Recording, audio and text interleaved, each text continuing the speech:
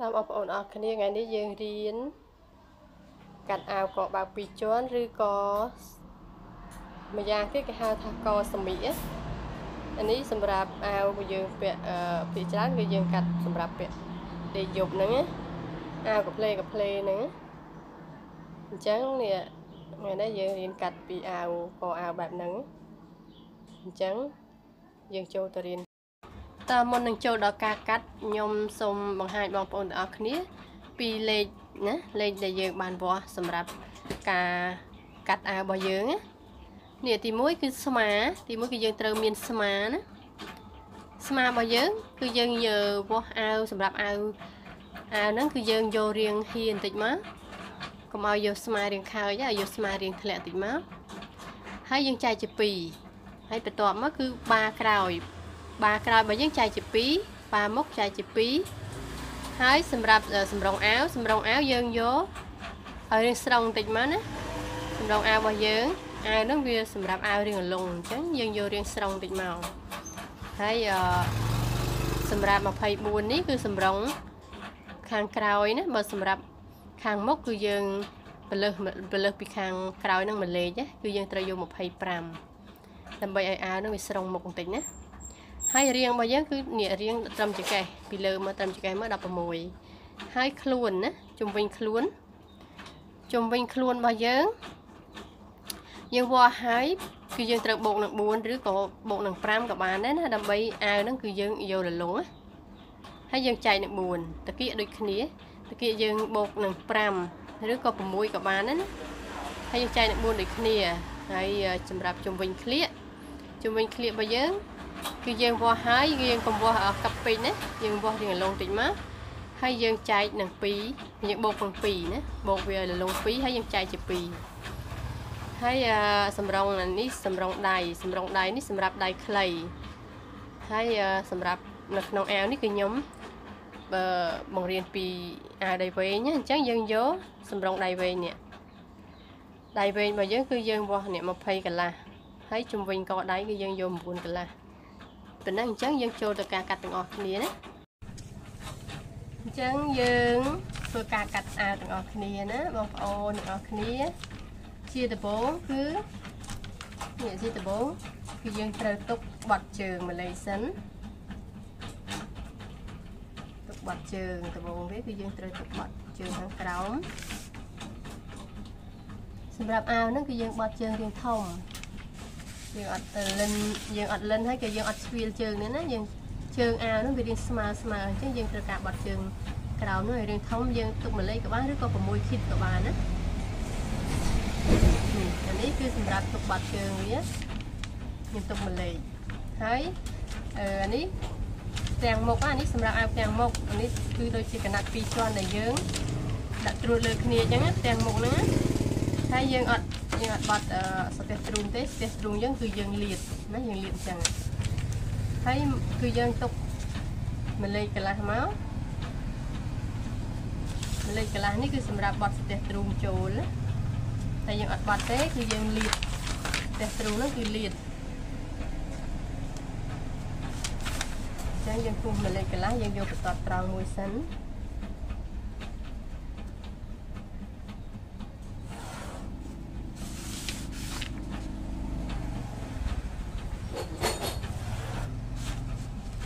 បានបន្តត្រង់មួយនឹងហើយហើ យយើងទុក6ឃីតទៀតណា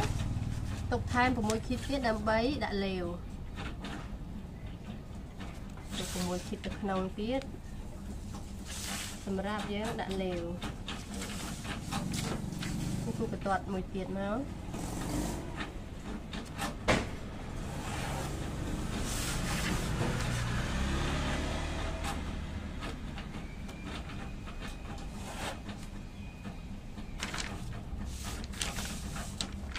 ហើយបន្ទាប់ពីយើងបានទុកបាត់ជើងហើយទុកស្ទះទ្រូងទុកដាក់លេវអីហើយគឺយើងត្រូវរកសម្រងវាស់យកសម្រងសិនណាសម្រងរបស់យើងគឺ24យើងខែមួយលេខ25 24សម្រាប់ទាំងក្រោយ25សម្រាប់ទាំងមុខណាយើងរកសម្រងមួយសិនដាក់ដាក់មក25 ហើយគឺយើងទុកជាប់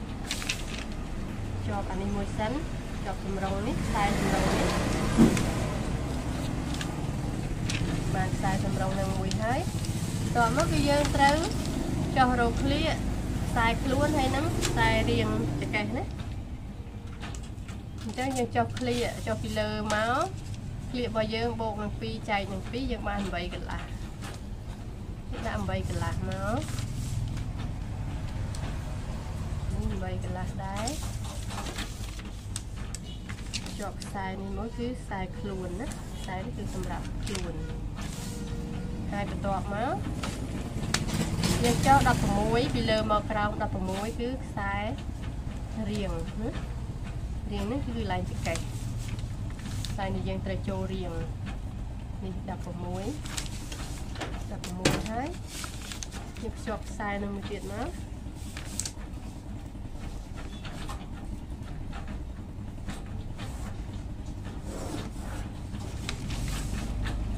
យើងបានសម្រងខាងលើហើយនេះក្លៀកក្លៀកខ្លួនក្លៀកហើយនឹងខ្លួននេះកន្លែង ខ្សែខ្លួនកន្លែងខ្សែរៀងយើងអញ្ចឹងបន្ទាប់មកគឺយើងវាស់ខ្លួនតែម្ដងមកខ្លួនរបស់យើងខ្លួនរបស់យើង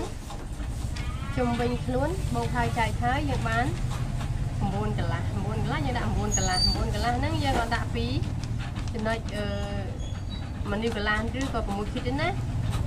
យើងដាក់ពីនេះពីអាខ្សែមួយដែលយើង យកចំណុចខ្លួននេះអត់តាក់ទងជាមួយ6គីតទេមនីកន្លះនេះទេយើងចេញពីអាអានេះទៅណា9កន្លះដាក់9កន្លះមកហើយបន្ទាប់មកគឺយើង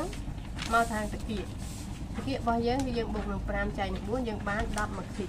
10មកគីយើងដាក់10មកគីមកហ្នឹងប៉ុណ្ណឹងហើយគឺយើងភ្ជាប់ពីក្លៀកអឺពីខ្លួនមកតាគៀក យើងលើមកតាគៀកហើយបន្ទាប់មកគឺយើងចូលរៀងណាអាសម្រាប់អាវនេះគឺយើងអត់យករៀងខ្លាំងទេយើងគ្រាន់តែយកចូលរៀងអែនបន្តិចអញ្ចឹងយើងចូលតែកន្លះលេខបានហើយអីវាអាចវាជាប្រភេទអាវលងអាវលងហើយយើងគូខ្សែនេះភ្ជាប់មកភ្ជាប់ពី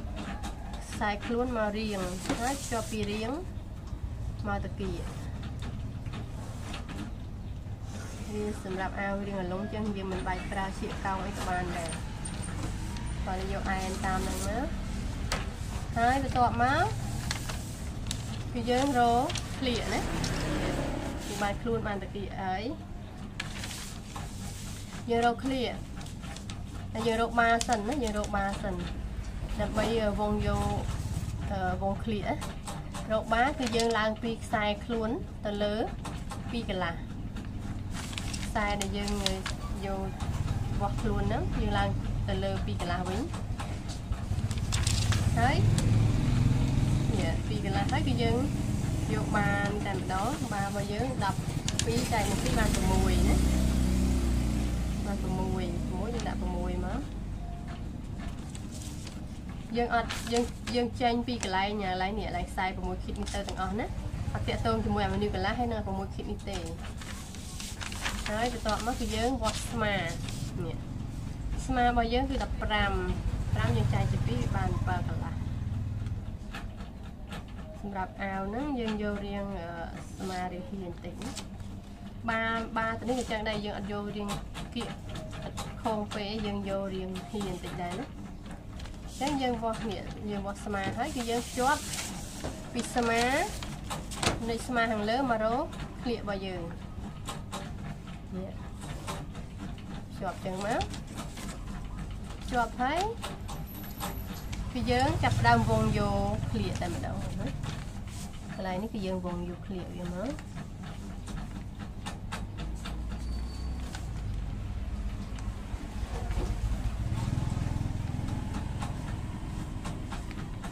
វ ងឲ្យរៀងមូលតិចមក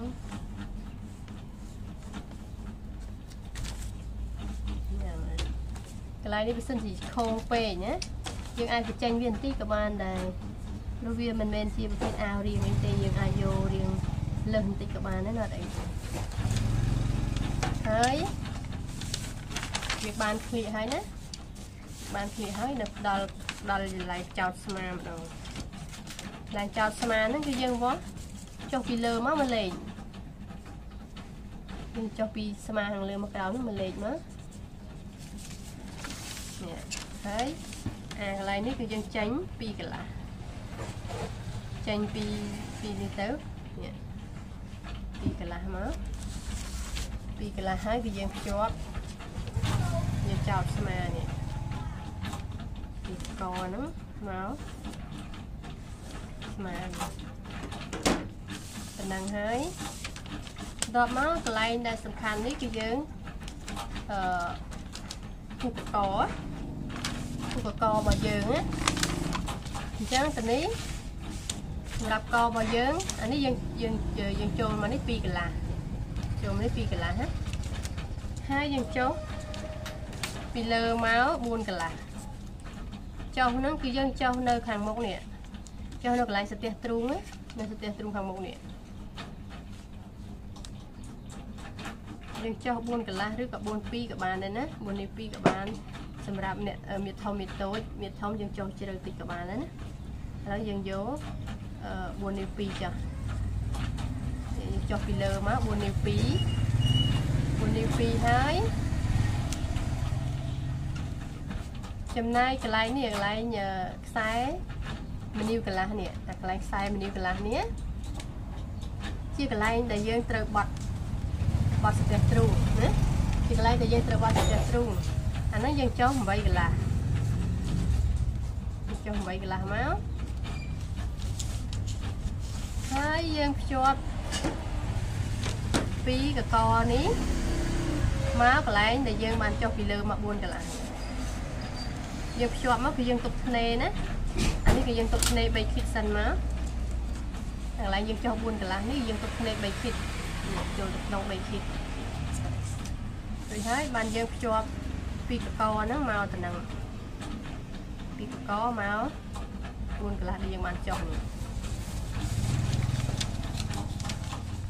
យើងចុះអញ្ចឹងមកបងប្អូនអាចតាមដានមើលហើយស្ដាប់ការដែលខ្ញុំនិយាយជាការដែលយើងមើលបងប្អូនមើលអត់តអញ្ចឹងយើងអាចស្ដាប់បងប្អូនអាចស្ដាប់ការដែលខ្ញុំនិយាយបានអញ្ចឹង យើងអាចយល់បានណាហើយបន្ទាប់ពីយើងភ្ជាប់ពីចំណុចកកខាងលើនេះមកចំណុចកកខាងក្រោមដែលយើងបានចុះ4កន្លះ1នេះ2នេះហើយហើយយើងភ្ជាប់ពីខ្សែមួយនេះមកកន្លែង8កន្លះដែលយើងបានចុះនេះមួយទៀតណាយើងភ្ជាប់មកចុះមករក8កន្លះនេះគេបានអញ្ចឹងឯណា គេបានរៀងអញ្ចឹងហើយយើងចូលនេះយើងចូលកន្លែងស្រួចកន្លែងចំណុចកកនេះណាយើងយើងឡើងមកលើវិញនេះយើងឡើងទៅស្ថិតមកតាមខ្សែកកនេះគឺយើងយកមេនីវ2មេនីវ2ក៏បានឬក៏មេនីវកន្លះក៏បានអាឡៃនេះកន្លែងយើងបកកកយើងបកកកចេញមកខាងក្រៅអ ញ្ចឹងអានេះគឺកកខាងក្រោមយើងអាចយកស្រឡាញ់ធំបកចេញរៀងអឺរៀងវែងចង់និយាយថាអាស្រួចហ្នឹងចំណុចស្រួចហ្នឹងរៀងវែងយើងអាចចូលមនីវកន្លះទៅបើសិនជាយើងមិនស្រឡាញ់វិញយើងចូលមនីវ2បានហើយនេះខ្ញុំចូលមកមនីវ2នេះយើងឡើងពីចំណុចស្រួចកកនេះមកចូលមកនេះមនីវ2សម្រាប់នៅពេលដែលយើងដាក់ស្លឹកកមកយើងដាក់ត្រឹមមនីវ2ហ្នឹងហើយ អានេះគឺវាចំណុចកកខាងក្រោមហើយស្លឹកកខាងលើគឺវានៅខាងនេះហើយសម្រាប់ករបស់យើងនេះគឺយើងអត់យកត្រង់អញ្ចឹងទេណាកហ្នឹងយើងអត់យកត្រង់អញ្ចឹងទេយើងយករាងកោងជីមកអាចជា2ខីតអីមកយើងកោងបកោងវាឲ្យរាងអែនបន្តិចមើលបានណា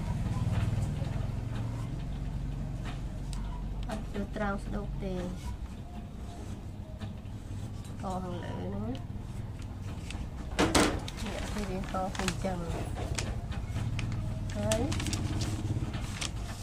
ខាងក្រោមនេះក៏ដូចគ្នាដែរយើងចូលបន្តិចមកមិនសិនជាយើងចង់យកត្រង់ក៏បានដែរណាក្រោមហ្នឹងណា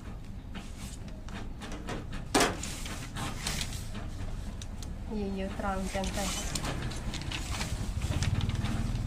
ហើយយើងបានហើយចំណែកឯងនេះ គឺសម្រាប់ទាំងមុខណាសម្រាប់ទាំងមុខរបស់យើងអានេះគឺ2លាវ2អ2លាវកន្លះយើងចូលបតនេះ2លាវកន្លះហើយចុះពីលើមកគឺ4 2 4 2ចំណុចកន្លែងនេះ ប្រឡោះប៉ុណ្នេះគឺមនីវ2ហើយចំណុចខ្សែពីលើនេះពីលើចុះអានេះគេហៅថាចុះជម្រៅកគឺយើងចុះ8កន្លះ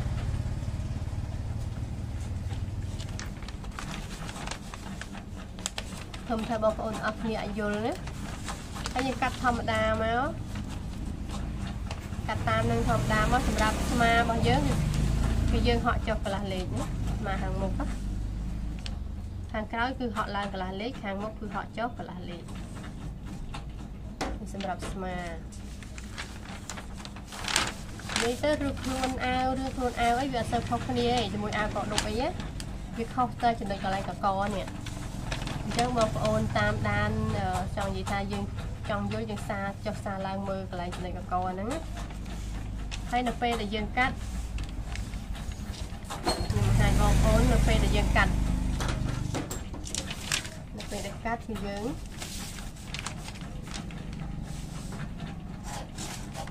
និយាយកាត់ពីជាងនេះមកនេះនេះមកលេខចឹងទៅឆ្លៀកទឹកភ្នែកហើយជាកន្លះលេខចឹងទៅ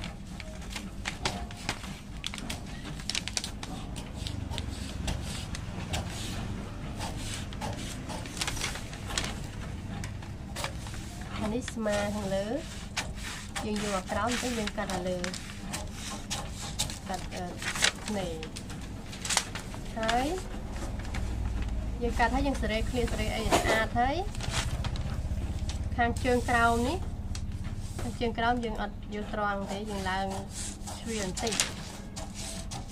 ជ្រៀតែបន្តិចទេ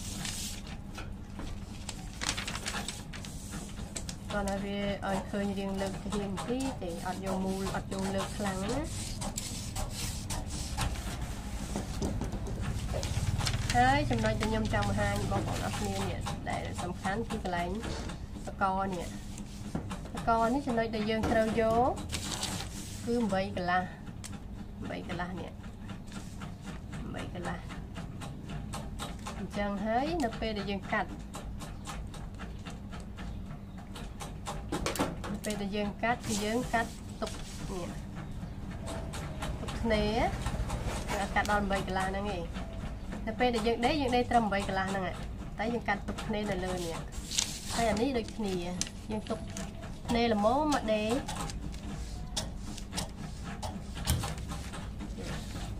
្មមមកយើងដេដាក់អឺបបកមកស្នេអានេះគឺយើងកាត់យក ចំណុចដែលយើងយកកោងនេះហើយកន្លែងមេនីវ2នេះនេះកន្លែងមេនីវ2ដែលយើងទុកទុកទុកដាក់អឺកំណត់ថាដាក់កខាងលើនៅត្រឹមហ្នឹងយើងច្រឹបវាមកយើងបត់ទៅយើងច្រឹបជើងមកចំណាំអានេះគឺវារៀងអញ្ចឹងអានេះវារៀងអញ្ចឹងកអាវអាវរបស់យើងគឺរៀងអញ្ចឹង ហើយនៅពេលដែលរបៀបដេគឺយើងត្រូវមានសទះយើងកាត់សទះសទះអាអានេះណាអញ្ចឹងនិយាយតែចែកយើងកាត់មួយសន្លឹកទៀតមួយសន្លឹកទៀតដែលដូចនឹងអានេះអានេះគេថាទំនាប់បកមកនេះសទះមួយសន្លឹកទៀតដូចអានឹងមកហើយយើងចុះមកមកដល់តំណឹងគឺយើងចុះឲ្យហួសមកសម្រាប់សទះខ្នងនេះចុះមកហួសនេះ ហួសហើយយើងកាត់វាមកអញ្ចឹងអាខាងលើនេះគឺយើងយកមកអញ្ចឹងហ្នឹង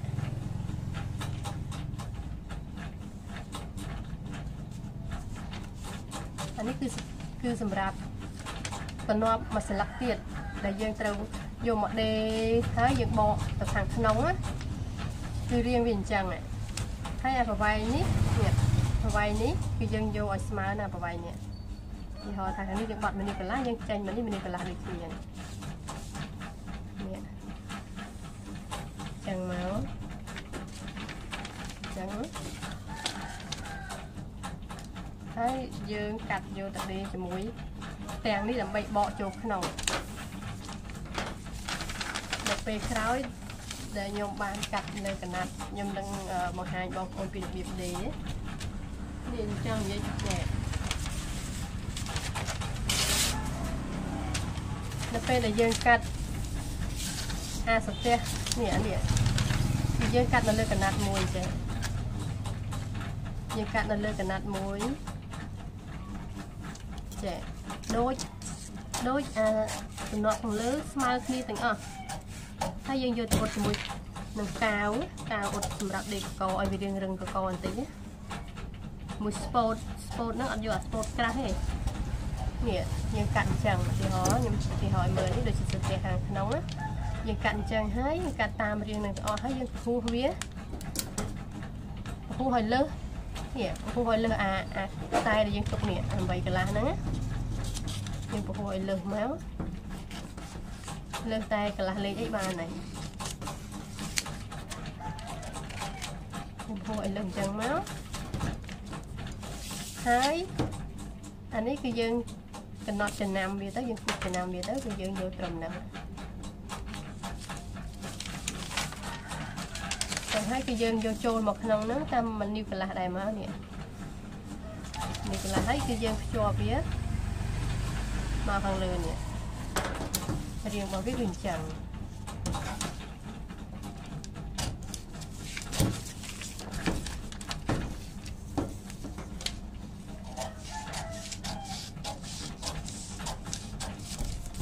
ហើយគឺយើងយកអានេះណា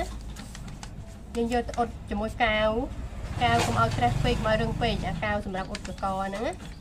អ៊ុតហើយនៅពេលដែលយើងដេរយើងអ៊ុតហើយយើងយើងយកមកដាក់ដេរចឹង